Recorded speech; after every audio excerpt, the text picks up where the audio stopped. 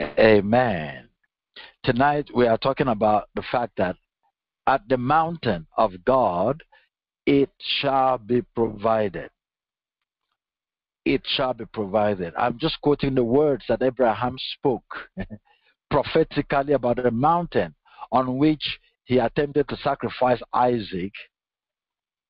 And when I, God provided a lamb, he, pro, he spoke prophetically, at the mountain of God it shall be provided. But can I tell you, it is no longer it shall be provided. We can say right now that at the mountain of God, it was provided. At the mountain of God, it was provided. And, and you can walk in that provision tonight. You can launch into that provision. You can dig into that provision. You can lay hold of that provision tonight. And it will benefit your life. Praise the Lord. Hallelujah. Let's open to Genesis chapter 22. Genesis chapter 22. Genesis chapter 22. We will just read, um, let's read verses 1 to 3 first. Let's read verses 1 to 3. Genesis chapter 22, verses 1 to 3. I read. Now it came to pass after these things that God tested Abraham and said to him, Abraham. And he said, Here I am. Then he said, Take now your son, your only son Isaac, whom you love, and go to the land of Moriah and offer him there as a burnt offering on one of the mountains of which I shall tell you. Verse 3. So Abraham rose early in the morning and saddled his donkey and took two of his young men with him and Isaac his son. And he split the wood for the burnt offering and arose and went to the place of which God had told him. Let us stop there for now. You know, in this particular place we just read, the Bible says Abraham was tested. Abraham was tested just as we are tested on daily basis. Do you know that on daily basis you are being tested? Abraham was tested. And what was the test? It was to determine who will Abraham live for. Will Abraham live for the gift or will he live for the giver? Would Abraham cherish the gift above the giver? Will Abraham choose the giver above the gift? That is the test. And do you know what? Even till today, you are being tested on daily basis. Are you choosing the gift or the giver? Every time your neighbor does something that annoys you and you feel like telling him off, you now have to make a choice. Whether to obey God that says, Love your enemies, do good to those that despitefully use you. Whether to choose God or to choose having your way. You know, we're being tested every blessed day. Abraham was tested, but thank God. Thank God. Abraham passed the test. You know, it is written that Abraham actually carried his son Isaac. He carried him to the Mount Moriah where God wanted the sacrifice. Abraham tied Isaac and put him on the wood, arranged the wood, tied Isaac, put on the wood. In fact, before he reached the place, Isaac had asked him. He said, But this is the wood. And but where is the lamb for the sacrifice? Abraham left with faith in his heart that even though this is what God has requested for him to do. In fact, the Bible says that Abraham believed that God is able, even after he has sacrificed Isaac, is able to bring him back to life. You know, there are a lot of people who cannot just come to to to grasp with the fact that if I love my enemies, That doesn't mean that I am under the power of my enemies. That doesn't that that as I obey God, God who gave the commandment is the one who defends me and deal with my enemies. They can't just they say, You mean I should pray for those that despitefully use me? How can I do such a thing? Is that not for them to kill me? Are you the one that is keeping yourself? Abraham believed that even if he had to kill Isaac for the sacrifice, God is able to bring him up. That's the kind of faith that God is calling us to. You know, it is a faith that have chosen the giver above the gift. Praise the Lord. Well, Abraham carried his journey to the mountain, tied Isaac there, uh, tied Isaac, put him on the wood, and was ready, lifted up the knife, was ready to kill Isaac for the sacrifice. And we get to know that he believed that God is even able to bring him up again. Because he told the young men he asked to stay behind. He said, Look, we, I, and Isaac, and the lad will go up there and worship and will come back. He didn't say, and I will come back alone. He said, and we will come back. He believed that God will raise him up. So when he raised the knife to want to kill Isaac, the angel of God shouted from heaven, Do the boy no harm. And that was it. Let's read that portion. Um, Genesis chapter 22, from verse 15. Let's read from verse, verse 15.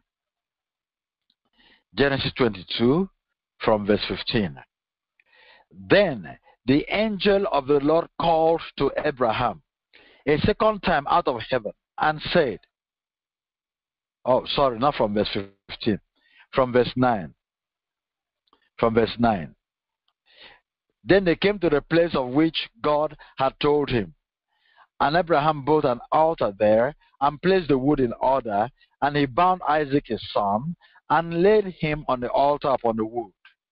And Abraham stretched out his hand, took the knife to slay his son.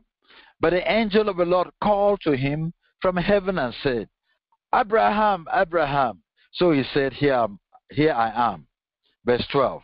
And he said, Do not lay your hand on the lad or do anything to him, for now I know that you, you fear God since you have not withheld your son, your only son, from me. Verse 13 Then Abraham lifted his eyes and looked, and there behind him was a ram caught in a thicket by its horn. So Abraham went and took the ram and offered it up for a burnt offering instead of his son Isaac. Praise the Lord. So here we see something playing out here. Abraham passed the test. Abraham passed the test when he showed readiness to choose the giver over the gift. When he showed readiness to offer Isaac. That is how Abraham passed that test. You know, you know, every day we are tempted. Are we going to withhold the gift from the giver? Are we going to withhold even ourselves from the giver? Are we going to withhold our time from the giver? Are we going to withhold our strength from the giver? Are we going to even withhold our emotions from the giver? Abraham gave all to the giver at that mountain and the Bible said the angel shouted, Don't do the boy any lad, any the lad any harm. And God opened Abraham's eyes to see that there was already a provision, a pre-arrangement. do you know there was already a pre-arrangement? There was a ram caught in the ticket. It wasn't Abraham's obedience that produced the ram. It was God that God has already produced the ram. Obedience brought him to the place of seeing the ram. Obedience enabled him to be able to see the ram, access the ram, and use the ram. But a ram is not a product of his obedience. The ram is a product of Jehovah Jireh, the God who provides, the God our provider. It's a product of his love, his care. But it was in the place of obedience that he can access the ram. It is in the place of obedience that you encounter the provision. Abraham encountered the provision. And and he used the ram for the sacrifice. But look at what Abraham said after he saw the ram and he used it for the sacrifice. In verse 14, and Abraham called the name of the place, the Lord will provide. That's where we get the name Jehovah Jireh. The Lord will provide. As it is said to this day, in the mount of the Lord it shall be provided. In the mount of the Lord it shall be provided. The Lord will provide.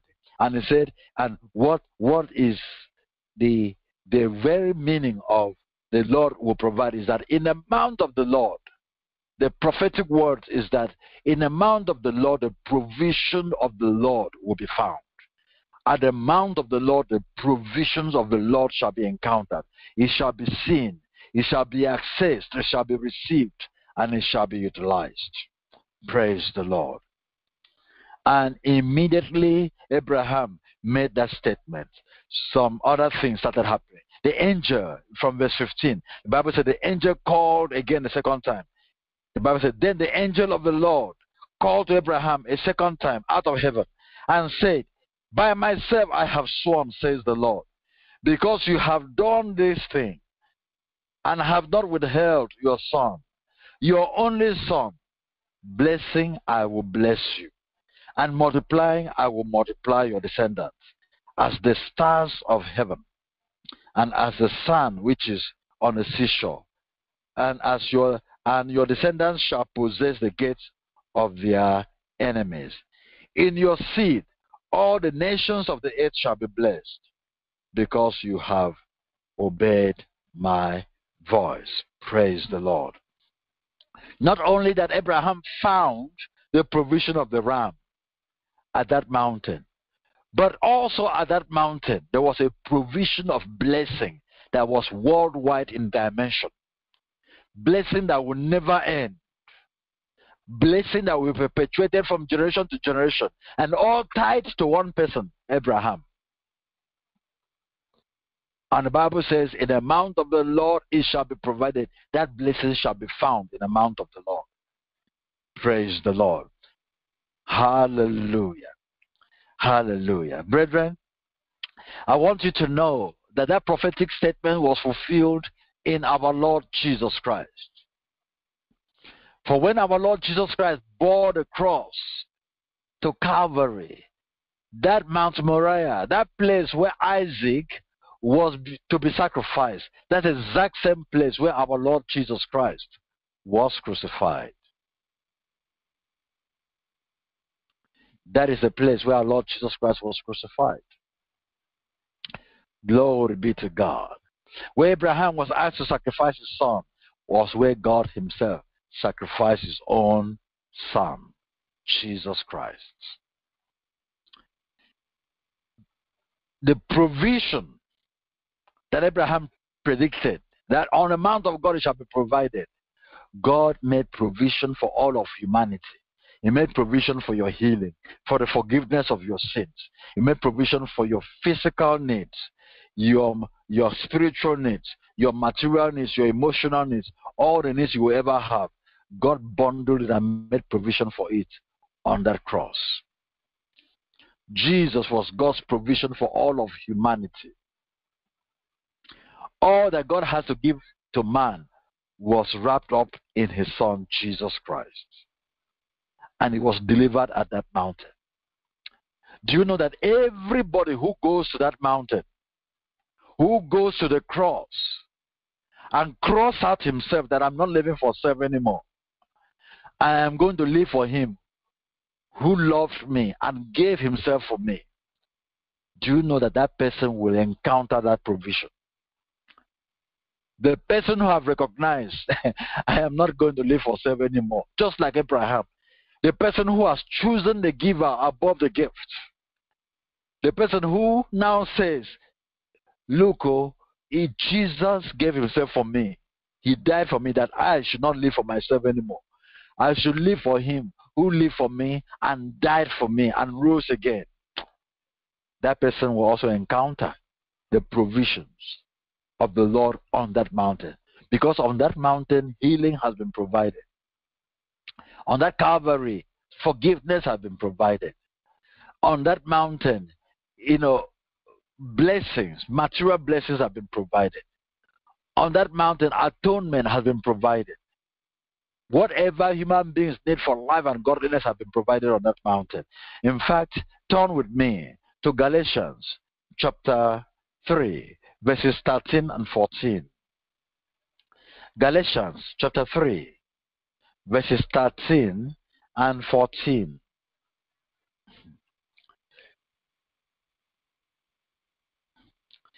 The Bible says in Galatians chapter 3, verses 13 and 14, it says, Christ has redeemed us from the curse of the law, having become a cause for us. For it is written, Cursed is everyone who hangs on a tree, that the blessing of Abraham might come upon the Gentiles in Christ Jesus, that we might receive the promise of the Spirit through faith. Glory be to God. Christ went on that mountain. He became God's provision. and the Bible says he took our curses upon himself because it is written, curses everyone that hangs on the tree. So that the blessing that Abraham prophesied about and the angel of God confirmed when Abraham said, Jehovah Jireh, on the mountain of the Lord it shall be provided. And the angel said, Look, Abraham, in blessing I will bless you. God, God confirmed the two prophecies that on that mountain of the Lord, God provided his son as an atonement for our sins. On that same mountain of the Lord, I, the Son of God became a curse for us he took our curses upon himself. So that the blessing that the angel pronounced on Abraham, that blessing that he said, In blessing I will bless you. In which God actually blessed Abraham, and Abraham was blessed in all ramifications. He said that so that that blessing might come upon you, the Gentile. Before that blessing, it was only the children of Israel that could access it through Abraham. But now we Gentiles can also access it through Jesus Christ our Lord. For the Bible says, through him we have become partakers of the commonwealth of Israel. That it was the Father's desire that the dividing war between Jew and Gentile be slain in the body of Christ, that he might make from two different people one new man.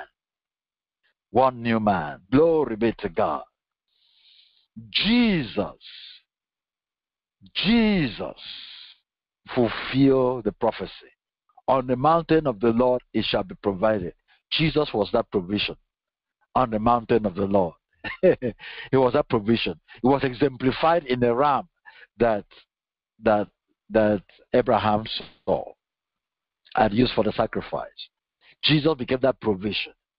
And through that provision, we become partakers of the blessings of Abraham. Now, what aspect of the blessing of Abraham are you looking for? It has already been provided. Jesus removed the partition, he removed the curse, he removed the things that would have prevented us so that we might access it. Abraham said, In the mountain of the Lord it shall be provided. We can now say, In the mountain of the Lord it was provided. It was provided. And now by faith we can reach out and take the provision. We can reach out and take hold of that provision. Brethren, what is the provision we are looking for? Is it healing? By whose stripes ye were healed. The Bible said when Jesus was healing in Jerusalem, he was healing in lieu of the fact that he is going to bear all our sicknesses and diseases. at the cross. Matthew wrote about it in Matthew chapter 8, verse 17, that he bore, he healed to fulfill what was spoken of by Isaiah, that he carried their sorrows and bore their sicknesses. He has already borne it. He bore it and released healing to you. You know what? You can say to yourself the same thing that the woman with the issue of blood said to herself, If only I can touch the hem of his garment, I will be healed. You can say, When I call upon his name, when I call upon the name of the provision that was made on that mountain, my healing will manifest. If only I call upon his name, my healing will manifest. What else are you what what what what provision are you looking for? It's been provided. Is it material provision? Are you in need of anything materially? The Bible says God already knows what you need even before you ask Him. He has made a prearrangement. He knew that Abraham will need a ram, and He made a provision for it, such that at the place of complete obedience, then there was a provision. Do you know that at the place of a complete yieldedness to Jesus, at the place of a complete submission to Jesus, there is provision. Provision for you. Don't worry yourself about how will it come about. The only thing you should care, be careful for is am I careful to live to submit to God? Am I careful to live in submission to God? That's the only care you have in this life. Am I careful to live in submission to God? That's all. God will sort out the other one. In a mountain of the Lord shall be provided. Where, where, when Abraham showed commitment to complete obedience, when Abraham chose the giver above the gift, he met with the provisions of God. I tell you, God has already made provision. The provision is there. We must just continue by faith, a life of trusting Him, submitting to Him, we are going to encounter the provision. We are going to encounter the provision. Glory be to God. Glory be to God. What else do you need? You need to be vindicated? Have you been accused and you need to be vindicated? There's a provision for vindication for you. The Bible says we serve a, He's a God of, of, of righteousness without injustice. Good and upright is He. Say he will maintain your cause and your rights. That is who he is. Glory be to God. And all you need to do, you must never allow, you must never allow the accusation of people who are wrongly accusing you to create in you bitterness, to create in you hatred, to create in you anger. That's what the enemy is looking for. If he can achieve that in you, then he has made room for himself in your life. The Bible says, when you are accused falsely, when you are persecuted for righteousness' sake, he said, rejoice because the spirit of glory has rested upon you. He said, that's how they persecuted the prophets of old. God will step in to defend you. He defended Martha when Mary accused her, he will defend you. I mean, he defended Mary when Martha accused her. He will defend you. Glory be to God. So, what is it that you need? Is it the fruit of the womb? And you are constantly struggling with with with with with with uh, uh, miscarriage, or even a threat of that miscarriage. I can tell you, provision for you to carry the baby full term has already been made. It's already been made. Stand strong in the Lord. Claim it, lay hold on it, celebrate it that the Lord has already done it, and live for His glory. Live for His glory. And it is done. In this life, I tell you, only one real need we have to worry about. Well, I just use the word worry lightly. Not that we should actually worry about it, but we should be that that is where our zeal should be. We have one need. They need to glorify Jesus with our lives. They need to live for his glory. That's the greatest need in life. That is my own greatest need. As I wake up every day, the greatest need I have is not money. The greatest need I have is not healing. The greatest need I have is not this thing or that thing. The greatest need I have is to glorify Jesus, to live for his glory. I tell you, as you seek the kingdom of God and his righteousness, first, as you give it priority, all other things will be added unto you. Those other things have already been provided. You will just come to encounter them. You'll be brought into the place where they are kept for you. You will encounter them and utilize them. They have already been provided. For the Bible says God has blessed us with every spiritual blessing in heavenly places in Christ Jesus. For the Bible says everything pertaining to life and godliness has already been given to us. When we believe that, we are believing the truth. We are believing the truth. It's already been provided. But it is at the place of obedience, the place of complete submission to the Lord, that we encounter them and appropriate them. And tonight, I just want to challenge you. As you're starting a new year, what you consider to be your greatest need? Abraham's greatest need was to glorify God. But in the place on that mountain of glorifying God, it was provided. All he ever wanted in life was provided. The angel called from heaven and said, Now in blessing I will bless you. It was provided. Do you know also, in that same mountain, as we go to Jesus on that mountain and put him first, prioritize for him, make the kingdom of heaven our first and foremost priority. See our need to glorify Him as the greatest need of our lives. At that same mountain, it, will, it has already been provided. We will encounter the provision. We will encounter the provision.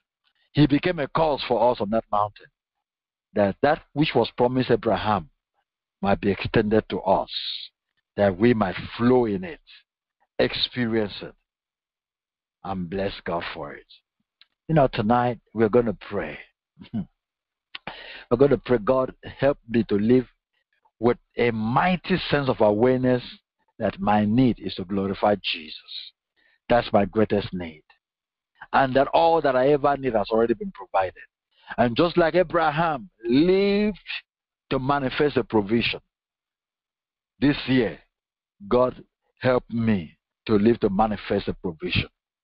Help me to live for you Make your glory my highest priority and live to manifest the provision that you have made in Christ Jesus on this mountain in fulfillment of Abraham's prophecy.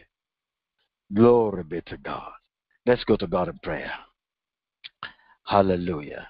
And I want to say that even as we are praying this prayer, if you have prayer points, send your prayer points.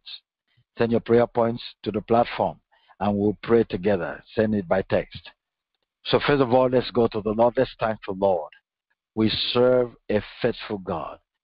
God was faithful. That which Abraham predicted thousands of years ago, God brought it to pass in the person of our Lord Jesus Christ.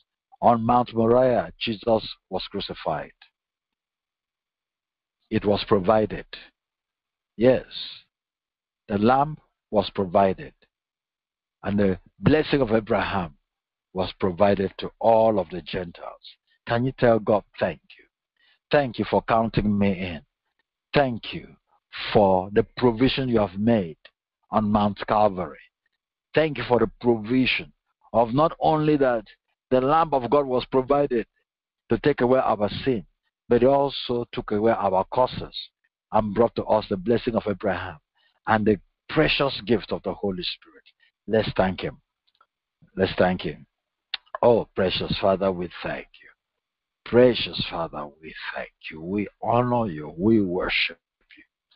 Thank you, Lord, for your faithfulness at providing at this mountain. Abraham said, On this mountain it shall be provided. Jehovah Jireh will showcase himself. And you did just that through our Lord Jesus Christ. You did not only provide him as an atonement for our sin, he also became the bearer of our curses that we might inherit the blessings of Abraham. Thank you, Lord, that the, your, your your oath that in blessing I will bless you has been transferred to us. has been transferred to us. Not only that uh, is it a promise, but it has become a promise fulfilled in Christ. We thank you. We thank you. We thank you. Thank you, Father. Thank you, Lord. Glory be to God. In Jesus' name we pray. Can you ask the Lord, ask the Holy Spirit to help you to live with a consciousness that you have been blessed? That at that mountain it was already provided for you. That you are a blessed person. You are just navigating, you are walking with God to encounter the blessings and manifest them. Glory be to God. Can you ask the Lord to give you that you are going to live with a mentality of the blessed? Not as someone who is seeking a blessing. You've already been blessed in Christ Jesus. You ask God to help you to retain that awareness in your soul, to retain that awareness, to live in the midst of that awareness, and be able to prioritize for the glory of God in that awareness. Live as a blessed person. Live in the awareness of as a of, of yourself as a blessed person. And, and and and and live for the glory of God in that awareness. Can you pray that prayer? Arabato suta kanda brata sato kubra labre dosu teke prata si Hebrakanda rakatushute keprakanda labratusute kepapaka pukatushike papakanda Hebrakantushike papakantushute kepabakatu bruto kuribakanda ratasanda. Thank you, Jesus. Thank you, Jesus. Thank you, Jesus. Thank you, Jesus. Hallelujah. Hallelujah. In Jesus' name we pray. Today you, you're going to thank the Lord Jesus for going to the cross and becoming a cause for you that you might inherit the blessings of Abraham. And so you, as you thank him, claim the blessing of Abraham.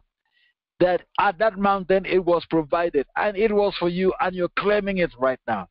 Any aspect of that blessing that you need, claim it tonight. Claim it, whether it is in healing, whether it is in in in material things, whether it is an opportunity that you need, opening of doors, whatever area you need, claim it. Claim it. Claim that blessing of Abraham. Glory be to God. Claim it today. Karabatu suta karibaba. Barubata sanda rababata sute kebra. Ebruto sute kebra sandoku prata satiki prakanda. Labreto sute kebrakanda rababakanda. Ebroto sute kebrata site kebrakando kula rababata sata. Ebroto sute kebra karabata suta. E karamata site ke prakanta site. Hey, brotosu balaru babakata sita ke brotosuta. Glory be to God. Mika pru babakanda rababakanda. Ikuta sita ke pruta kanda. Hallelujah, hallelujah. Kali brotosonda rabakanda.